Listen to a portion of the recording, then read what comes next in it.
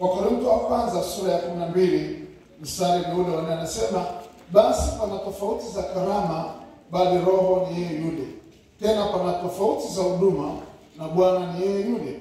Kisha pana tofauti za kutenda kazi, bali Mungu ni yeye yule azitendaye zote, azitendaye kazi zote katika wote. Lakini kila mmoja hupewa ufunuo kwa Roho kwa kufaidiana. Maana mtu mmoja kwa Roho apewa neno la hekima, na mwingine neno la maarifa, apendaye Roho yeye yule. Mwingine imani katika Roho yeye yule, na mwingine karama za kuponya katika Roho yule mmoja, na mwingine matendo ya miujiza, na mwingine unabii, na mwingine kupambanua roho, na mwingine aina za lugha, na mwingine tafsiri za lugha. Lakini kazi hizi zote kazi hizi zote huzitenda Roho huyo huyo mmoja, yeye yule akimgawia kila mtu peke yake kama apendavyo yeye. Sema kama apendavyo yeye. Upande wa jumla wanazungumza chini, siwasikii. Sema kama apendavyo yeye. Narudia tena kwa ufasaha zaidi, nisikilize. Biblia inasema Eh, hiyo Wakorintho wa kwanza sura ya 12 mstari wa 4 anasema basi pana tofauti za karama, bali Roho ni yeye yule.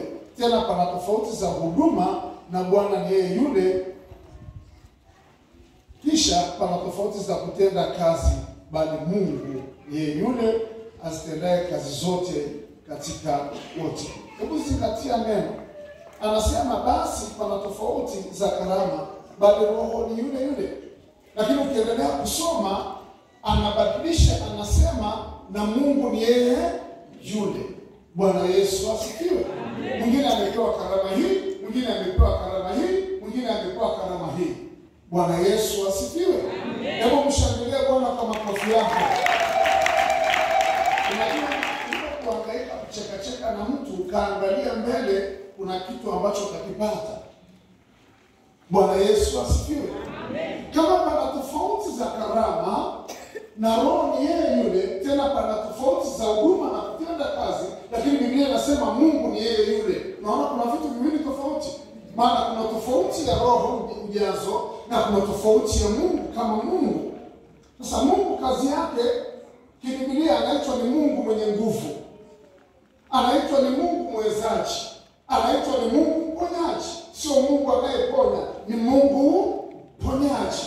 Ukisema ni Mungu anayeponya, ni mtu anakuuliza, je, nani kaponya? Ni Mungu anayeponya. Lakini unaposema uponyaji, lazima umtaje Mungu kwamba yeye ni Mungu anayeponya. Maanake yake umedip mpaka chini na kuzimu, imejua kabisa kwamba huyo ni Mungu anaye au Mungu mponyaji. Bwana Yesu asifiwe. Watu wengi hapa tuna karama, kuna kitu kinaitwa karama na kitu kinaitwa vipawa. Karama ni kitu ambacho kinashughulika na kazi ya Mungu, kuponya, uimbaji, kupiga vyombo, kuongea, kuhubiri. Hiyo ndio inaitwa nini? Karama. Tunaposema vipawa, kuna vipawa vya kubuni vitu mbalimbali, vipawa vya Roho Mtakatifu, vipawa vya kazi mbalimbali, biashara mbalimbali. Si kama unanielewa? Elimu mbalimbali. Unaweza ukawa ni mwanasayansi, lakini kuna mtu ambaye anaijua zaidi kuliko japo mmepata grade hii moja. Kwa hiyo kuna tofauti ya karama ambazo zinashughulika na Mungu, mambo ya madhabahu, mambo ya madhabahu, vitu mbalimbali, neno eh? Neno inashughulika na mambo ya nini, ya karama mbalimbali, ni mambo ya madhabahu. Unaposema vipawa, umetoka nje ya hapo. Bwana Yesu asifiwe. Ndio maana unapoitwa mtumishi wa Mungu, kama una karama ya kuponya, lazima uwe mtu msafi na lazima uwe mtu muombaji. Lakini kama utakuwa ni mtu ambaye unahubiri tu, hamna uombaji ndani, kuna shida.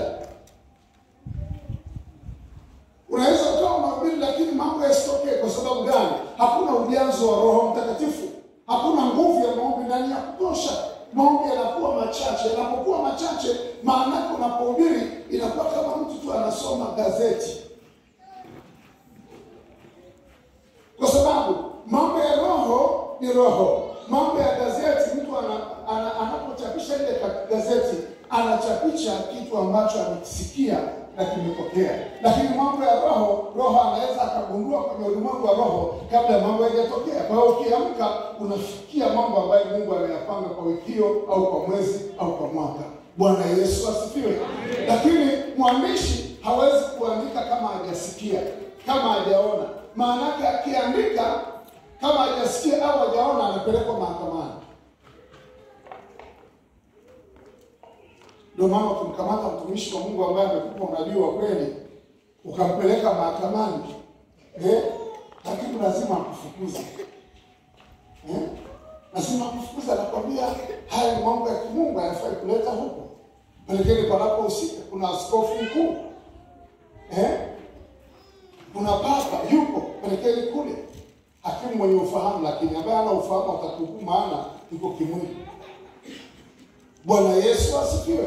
Kwa hiyo unapokuwa mtumishi wa Mungu, mhubiri, lazima maombi kwako yawe ya kina, sio maombi ya kuja kuomba nusu saa, misali moja, ukasema Mungu atakusikiliza. Hala, haitakuwa.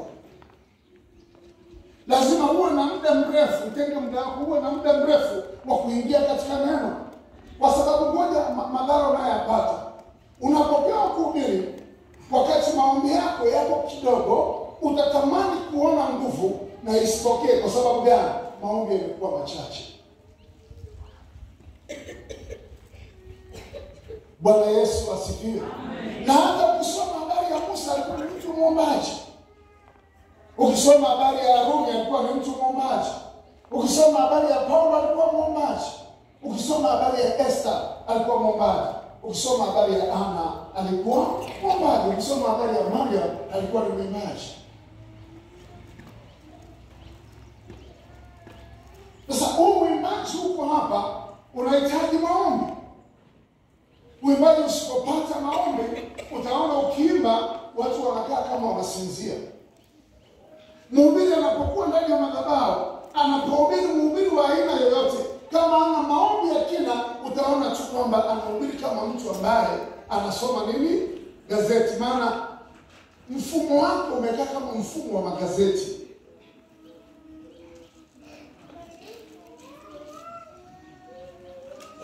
na ndio maana wengi kuwauliza habari ya ndoto inawapa shida. Mungu anaweza akakufunulia jambo,